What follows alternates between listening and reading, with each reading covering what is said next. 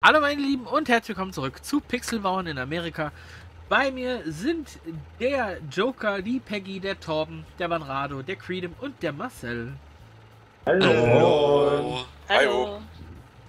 Äh, Pixel, Ähm, ich brauche ja, ich habe die falschen Anhänger. Ich bin so ein Idiot.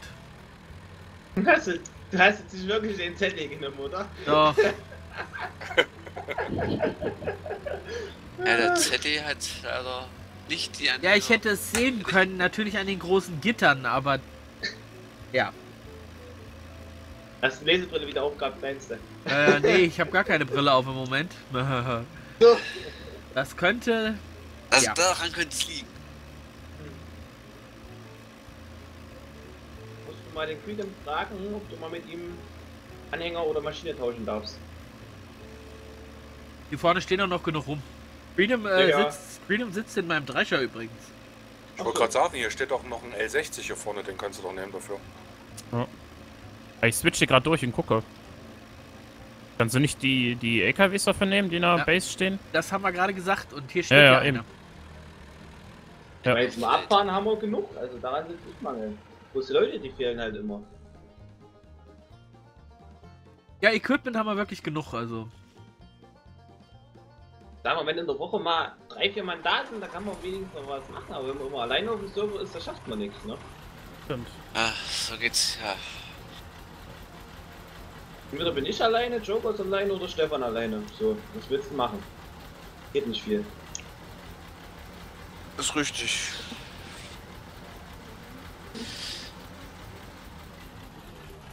Also wenn ich Wir da haben bin, uns bin ich eigentlich so meistens gut nicht wie die alleine. ganze Woche eigentlich so gut wie verpasst. Aber Tja, das ist Pech, ne? Ja, beziehungsweise, wenn du bis Nacht um vier spielst, ist das ja nicht mein Problem. so, weil wenn du schläfst, wenn du noch wach bist, da schlafe ich ja schon, beziehungsweise stehe schon wieder fast auf. Bin ich fast ja, schon Biorhythmus ist gerade im Arsch. Konrado, wie voll bist du ungefähr? Äh, 66 Prozent. Hm. Heute ist ja bei mir, dass ich seit langem mal wieder richtig spiele.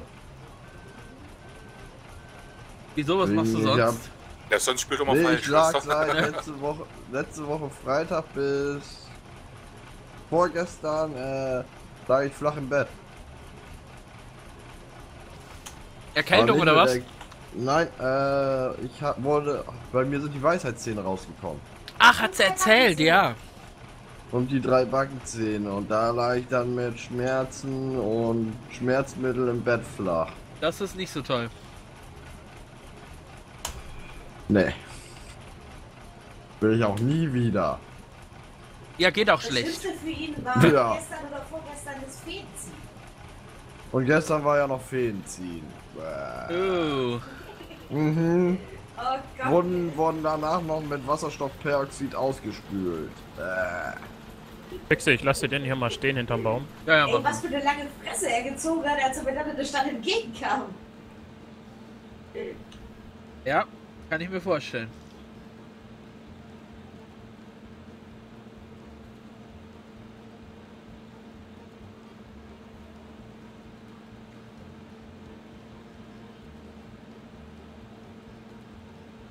Oh, hier liegt auch noch ein Stückchen Ast. Ja. Passt. Lange wie es kein Baum ist, geht das ja, ne? Mhm. Ich glaube, das sieht ein bisschen blöd aus. Was? Was hast du gemacht? Hey, du hast mir jetzt Unordnung auf den Hof gebracht. Ja, das sieht etwas doof aus. Nee, hab ich nicht. Räumst du nämlich wieder auf. Nur ich fahre hier schön, manövriere ich mich sogar an den ganzen noch hier Frontlader und was hier noch steht vorbei.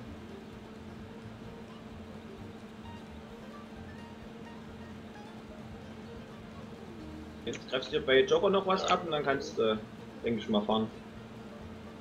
Was gerade leer getankt wird. Ah, siehst du? Ja, kann schon. Ich dachte, er ist schon voll, so wie es aussah. Nee, dann fahren wir.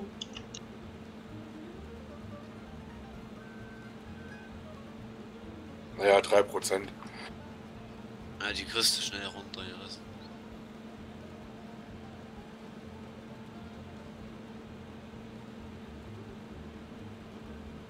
Da ist auf die 3%. Das möchte ich sowieso im Lager. Ja, da fahre ich jetzt mal kurz bei dir drunter, siehst du, 98, 99. Und? Jetzt hast du voll. Jetzt habe ich voll.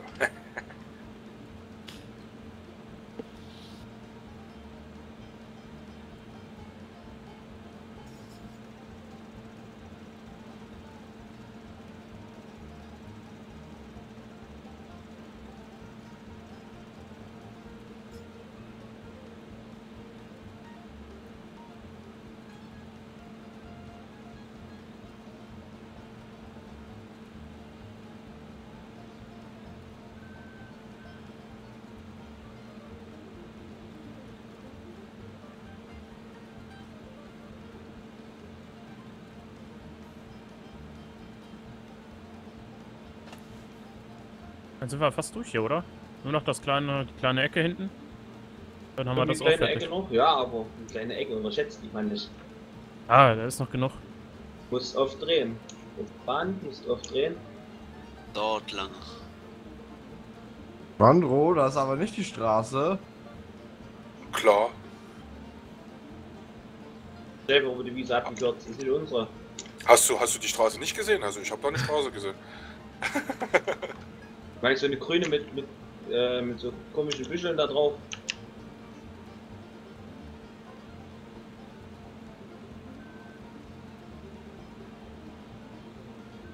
Ach, Setzt sich aber immer wieder. Immer wieder. mach's spannend.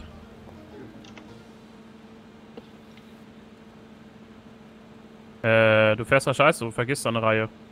Ja, scheiße, die drei Rüben. Das ist vorgekommen. Nein, nicht ausgehen, Monito. Nicht ausgehen. Wer? Marc, wie voll bist du? Äh, 40 Prozent. Sag mal bei 80 Bescheid, dann komm ich nach hinten. Okay. Kannst auch warten. Die ganze Zeit daneben fahren. Viel entspannter für dich. Rum, hier lasse ich ihn auch einfach laufen. Dann müsst ihr ja auch warten. Warum? Wir sagen, pass auf 80%, kommst rangefahren, machst leer und stellst wieder hin. Aber wenn ihr beide bei 80% seid, dann ist der eine dann voll in der Zeit, wo ich den anderen das lehre. ist dann ja nicht mein Ja? Problem, das ist dann dein Problem. Hier wird alles stramm durchorganisiert. Ja, ja. Wenn, wenn ich aber neben dir herfahre die ganze Zeit und hinter dir wird gleich gesagt 80%, dann gehe ich nach hinten, fahr da weiter, bis Ja, du sagst bin 80% und fahr wieder nach vorne. 71, 72, 73, 74, 75, 76, Und alles 77. aufs Führerhaus drauf, ey. Nee, nee, nee. 80. Das fällt automatisch nach hinten rüber. Das nennt man äh, Ausnutzung des Laderaumes. Ja, richtig. Ja, ja. Oh, oh, oh, oh. Aber ich glaube, das gibt schönes Geräusch auf dem Dach, wenn die da drauf knallen, ey, die Rüben. Na, vor allen Dingen die Beulen. ja. Ja, ausgerechnet ein Dachfenster ist, das macht dann Klirr. Ja, da liegen sie dann drin und da nutzen sie dann den Stauraum vom Fahrer mit aus. Ja. Das ist. Und wer macht sauber? Also ich nicht. Na, der, der den Trecker fährt, oder? Ja, ja, genau. äh, was? Ich muss weg. Ja, ja, die Träger werden nachher sowieso dann alle reine gemacht. Oh Gott. Wurden. Geputzt werden muss auch noch. Was soll das denn? Ja, nee, Äh, ich brauche eine neue Arbeit. Weil letztens habe ich mich bei dreiviertel Stunde hingestellt und habe alle Maschinen sauber gemacht. Da wartet man einfach bis es regnet, dann ist es ja auch sauber. Ja, man Und spart meine Geld. LS. Man regelt das meine LS. Ich Werden die, werden die dann wirklich sauber? Ja. rausgepatcht. Rausgepatcht. Dachte ich. Also ich glaube nicht, dass die sauber werden, oder? Am Anfang war es so, das haben die dann glaube ich rausgepatcht. So, ich stelle mich jetzt hier hin. Geh. Es dauert länger, so viel wie ich weiß. Also ich habe jetzt gleich 80, wenn du das wissen willst. Ja, ist okay. Ich gehe gerade zu Pixel und stelle den anderen hin. Anders hin. Was mir gut gefallen würde für den neuen LS, für den der im Oktober kommen soll, wäre wär eine richtige. Ja, wäre wär ein richtiges äh, System für äh, äh, Jahreszeiten. Aber das wird wahrscheinlich kaum kommen. Ich glaube, das wäre schwer umsetzbar. Jetzt war es das schon, aber in welchem Maß? Ja. Wie lange ist, ist so ein. Äh, weißt du, wie lange, wie lange läuft das? Also äh, vier Tage Frühling, vier Tage Sommer, vier Tage Herbst, vier Tage Winter und was passiert mit den Früchten, die dann immer noch draufstehen, versteht ihr? Genau, das ist ja das Problem. Es gibt ja Leute, die spielen alleine und äh, dann hast du plötzlich noch Rüben im Winter stehen, weißt du, die müssten ja dann eigentlich gefrieren, weißt du, weil alleine schaffst du ja so eine Map gar nicht groß zu spielen. Ja. Sag mal, Rüben im Winter, das ist. Das geht, das macht dir nichts aus. Solange wie die in der Erde sind, macht das dir nichts aus. Solange wie die an Wasser kommen. Ja, aber in den Rüben selber ist ja auch Wasser drin, also von daher. Ja, aber überleg mal, wenn die jetzt, die fangen mit Rübenroten, fangen die Anfang Mitte September an. Und dann roten die aber auch, wenn viel ist, bis Mitte Januar. Und da ist es dann schon gefroren, auf jeden Fall. Wenn du mal einen richtig strengen Winter hast, dann da roten die mal im, im, im Schnee. Da liegt mal halber Meter steht da vorne wieder. Solange wie die, Rüben rein sehen, fahren die wieder ihre Rüben runter. Ja, aber wenn der Boden gefroren ist, äh, halten das die Maschinen danach aus? Ich weiß nicht. Das ist sogar für den Boden besser, wenn er gefroren ist. Ja, für den Boden, aber was macht die Maschine? Voll drüber. Das kommt auf die Äh. Maschine an. Gibt den Bürgersteig, hier sind auch welche. Ja, ja. Ja. Muss einer mal komisch geflügt haben. Mal ein Ja. Wunder, was weggemacht wurde. Hinten auf Feld 5, da habe ich auch hinten auf der einen Ecke Rüben entdeckt. Ja, da ist Stefan mal sonst gefahren und dann hat er natürlich auch noch so klug wie er war und auch noch Rüben angesehen. Wer ist Stefan? Ja, wer ist das überhaupt?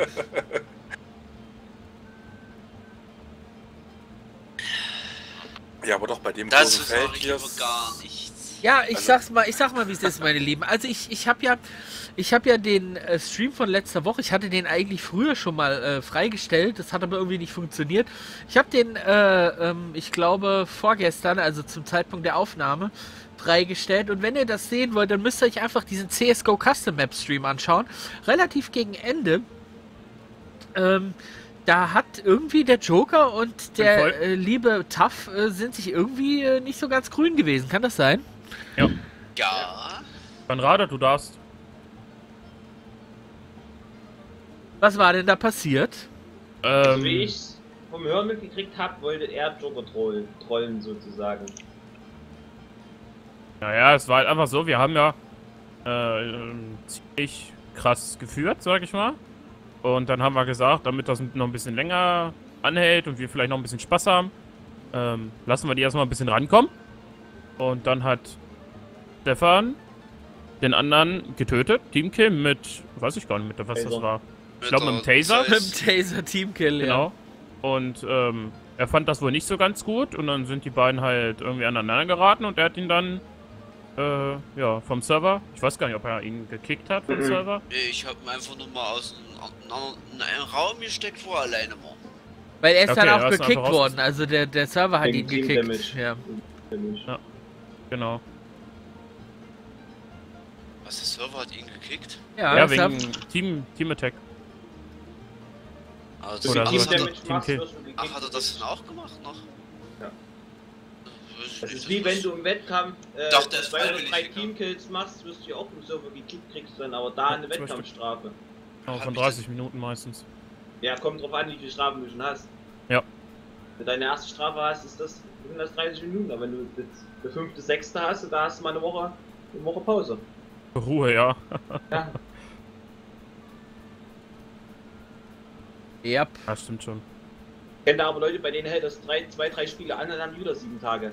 ja, es ist schlimm. Ja, die kriegen dann aber irgendwann kriegen die länger, ne? Wenn sie das, wenn das ein paar Mal hintereinander passiert. Ich habe schon miterlebt, da hat Anna wirklich ein ganzes Jahr bekommen. Also da stand wirklich 365 Tage. Nice. Also, das ist, das ist dann Das irgendwo ist schon heftig. Ich glaube, das äh, steigt auch nachher nur noch exponentiell an. Genau. Nicht so, ja, so ein bisschen mal sieben, acht Tage, sondern sieben Tage, vielleicht dann 14 Tage, 30 Tage, ein Jahr. Ja, sowas ungefähr. in dem Dreh, ja. Ja. Ja, das ist einfach alles so. Teamkill kann immer passieren. Ist mir auch schon oft passiert. Oder Team Attack. Ja, Aber- Ja, also mir ist es auch schon passiert nicht passiert, gleich dass es eine Runde äh, Teamkill, dann hatte ich noch aber noch zwei Teamkills offen immer. Ja, ist meistens so. Also wenn du eigentlich nicht so auffällst wegen Team Attack, Team Kill, hast du entweder, wenn du einen Team Kill machst, hast du noch einen offen, beziehungsweise zwei noch offen. Wenn du aber vorher Team Attack schon machst, dann zählt er das irgendwann schon runter. Aber das Lustige ist, wenn du jetzt äh, schießen willst mit der AWP und dir läuft. In dem Moment, wo du schießt, dein Teammate in den Schussbahn, kannst du ja gar nichts machen. eben.